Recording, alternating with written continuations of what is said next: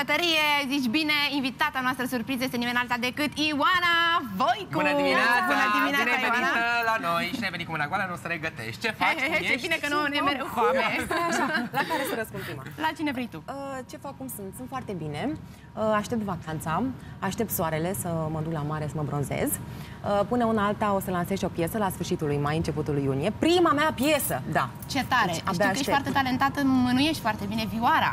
Da, 15 ani de vioară, vă dați seama, e o veșnicie. Cum va fi așa mai dens, mai cum? E mai dens, e de vară, A, e ce trebuie. pregătești ceva bombă. Mhm, A, mhm. te așteptăm când o lansezi să vii să cânti Cu și siguranță. aici la noi în platou. Cu siguranță. Uh, dar ai venit să ne și gătești în această dimineață, pentru că am Exact. observat că tu ai un trup uh, bine sculptat, te întreții foarte bine și doar câteva ingrediente să înțelegem. Asta e salata mea preferată, eu am inventat-o din tot ce îmi place mie. Roșiile sunt preferatele mele, avocado, mozzarella uscată sau umedă și măsline verzi.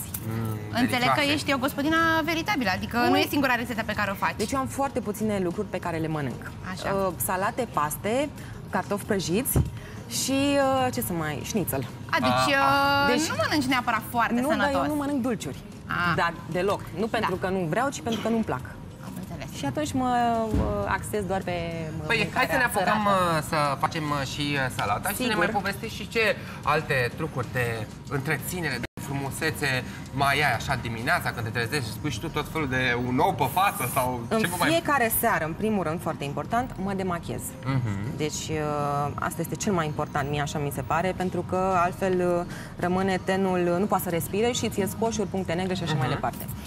După care uh, aplic uh, o dată pe săptămână o mască făcută de mine, uh, ce conține miere, ulei de măsline și uh, suc de lămâie. Ce tare! Sucul lămâie are vitamina C, ceea ce e foarte bun pentru piele. De Așa. altfel, iau și o pastilă de vitamina C de 1000 de miligrame în fiecare zi. Uh, mierea hidratează împreună cu uleiul de măsline, deci este o mască de hidratare. Deci mergi pe trucuri naturiste, așa. Da.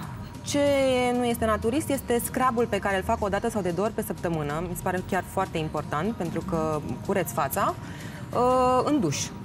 Deci și dimineața și seara aplic uh, o cremă de zi și una de seară. Deci e foarte simplu. Pentru păr ai vreun, uh, Da, vreun pentru truc? păr um, ulei de cocos. Foarte bun, deci uh, chiar dă rezultate. Ulei de Cum? cocos, Pui ulei de cocos așa? da, Cum? Îl pregătești cu ori pe bani? tot părul, ori doar pe vârfuri, pentru că ale mele sunt puțin deshidratate. Și stau cu ele toată seara. Dorm cu, cu masca de păr. Ah, ce tare! Îmi pun o căscuță așa, Da. ca să nu, sau un prosop. Și dimineață, dacă nu am timp să mă spăl pe cap, îmi fac un wet look și atunci am rezolvat uh, toată Oh, treaba. E știi? bine, da. Exact. Reușești să ieși din, uh, din ipas. Dar Sport faci? Uh, sport, având, eu am hernie de disc. Aole. Deci ceea ce e foarte complicat și am și probleme cu rotulele, știu, și am uh, doar 29 de Toate ani. acestea arăți foarte bine. Da, mulțumesc, dar e, uh, fac pilates. Genetic? Ah, pilates. Da. Uh, sau aerobic. Doar atât pot să fac. În rest nu am voie să trag de fiare, să alerg. Deci un fel de cardio. Cardio am voie să fac. Dar oricum ai uh, siluetă trasă prin inel. Ai avut vreodată Măi, probleme de greutate, lasă, oscilații? lasă, A scăpat o roșie, nu nimic. Lasă să cadă. Da, am avut probleme, m, cred că pe la 16-17 ani. Am avut chiar 74 de kilograme. Oho. Bine, eu am 1,74 m, să zicem că nu se vedea chiar așa uh, dramatic. Ești înăltuță, da. Uh, Dar, dar voi pe cum vreți sistem să nervos. fiți așa, să aveți talie și așa? Deci îți mâncam și castronul ăsta. Totul e, deci pe sistem nervos a fost, că am trecut printr-o perioadă mai dificilă și atunci uh, m-am îngrășat. Fără să... Și refulai în mâncare Exact, și... uh, exact, da. Și acum aș aduce aminte de uh, mama că îmi făceam provizii de dulciuri. pentru că eu vedeam că m-am îngrășat și că sunt grăsuță și vreau să slăbesc și țineam câte un regim în acela drastic de mâncam un măr pe zi sau doar o salată sau ceva de genul ăsta. Și atunci toate poftele mele din timpul regimului um, cumpăram ce aveam poftă și îmi făceam provizii. Și pentru că tot ai zis de vârsta sa de 16 ani, vreau să te întreb cum erai tu în adolescență. Ai fost o adolescentă rebelă, ascultătoare, te certau părinții, mai făceai năzbâtii. Ca Hai, să-ți spun. E, cu- dacă e cu Așa, deci, e cu deci. Noi avem tot timpul. Tata m, a fost, acum nu mai e, foarte drastic de fel. Uh, N-aveam voie la club. Uh, chiar era un club de zi, deci și acum îmi aduc aminte, se punea hip-hop acolo și eram înnebunită. Și începea la 5, se termina la 9. Așa. Cu greu mă lăsa să mă duc acolo cu prietena mea. Deci îți dai seama, deci nu era seară să zici că stau și Era nici după măcar nu se... masă, Era era în lumina toiul afară. zilei, Și da. se vindea suc, nici măcar alcool, pentru că era un club de tineri, de adolescenți. Uh, și abia pe la 18 ani mă lăsa să mă duc la club cu uh, bodyguard și cu nu mai știu ce femeie care avea grijă de noi. Deci eu cu prietena mea. Cum? Do- fata mea singură la club. Mamă. Deci așa a fost tata. Mă rog, s-a deșteptat între timp, ca să zic așa, dar... Acum faci cam ce vrei, nu? Exact, și făcând vioară, îți dai seama că era foarte greu pentru mine să mai și ies, să mă mai și, bă, nu știu, să plec. Că... Trebuia să ai un program strict. Exact, deci aveam uh, școală dimineață sau după amiază, plus orchestră, muzică de cameră, oră de vioară și acasă iar meditații și uh, de două ori pe săptămână tot așa meditații în privat, ore de vioară. Deci îți dai seama Greu. că nu mai aveam timp de nimic. Dar uh, pentru că zici că a fost strictă tatăl tău și cu băieții la fel, aveai voie să ieși la un suc, la un cico, știu eu, 17, 18, 19 ani. Uh, măi, nu prea. Abia de pe la 19 ani încolo, hai 20, a început să, Să fie te mai, mai ok. lase. Da. mhm.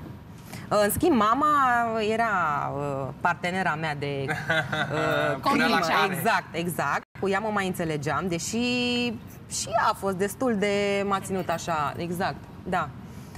Deci am fost un copil model, să zic așa, din față de ce vedem acum. La asta mă refeream. Dar Și acum cred cum că și stau, tu la bă? fel. Acum... Dori Mateu, îți dai seama. Mă rog, Juca fotbal curat aia Mateu în casă. Mă Uh, dribla ca pe Și minge. acum, cum stau uh, Acum? lucrurile? Adică la ce te referi? Uh, referitor la relația cu părinții tăi, mai stai de vorbă cu ei, mai Foarte cerți bine. sfaturile sau uh, faci ceea ce consideri tu că e mai bine și ei te susțin în orice situație? Depinde de problemă.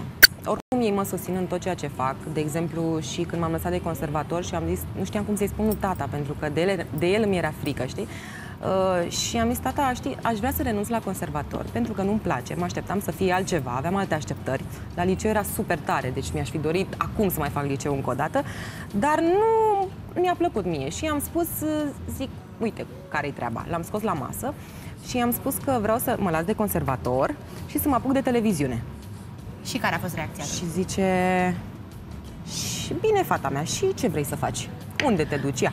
Zic, uite, m-am înscris deja, eu deja mă înscrisesem la Media Pro, la Regie, Teatru TV și în paralel la jurnalism în radio și televiziune. Deci Aha, aveam două deci facultăți. erai pe toate, pă, exact, planurile. Exact. Plus conservatorul la care nu renunțasem încă. După discuția cu tata trebuia să uh, renunț și a zis ok spre surprinderea mea. Adică chiar mama a fost mai supărată decât el, Mhm. ceea ce nu mă așteptam. Dar, Ioana, în problemele pe care orice fată le are în amor, de exemplu, Așa. la cine te-ai dus de fiecare dată? La tata, care te-a sfătuit așa cum a știut el mai bine, sau la mama? La mama. Femeie, La fiind, mama. nu? Mhm, la mama. La mama pentru că, na, ea înțelege mai bine. Tata e bărbat și nu... Uh, na, o femeie știe prin ce treci. Clar. Un bărbat, mai puțin. Chiar dacă e tata, o să înțelege, dar nu... Consider că primesc mai bune sfaturi de la mama. Așa, foarte bine. Da. Con- uh, continuăm uh, Da. Rețeta. Deci am pus Mozzarella. măsline, am pus uh, roșii, Roșii. sherry. Și acum mozzarella pe care o tăiem cu bulețe. Așa.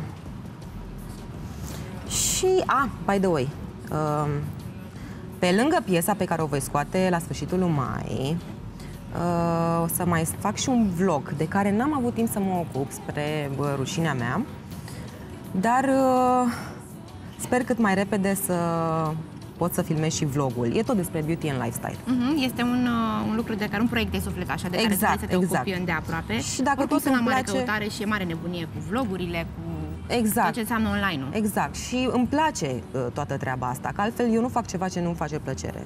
Deci asta e... Eu așa sunt.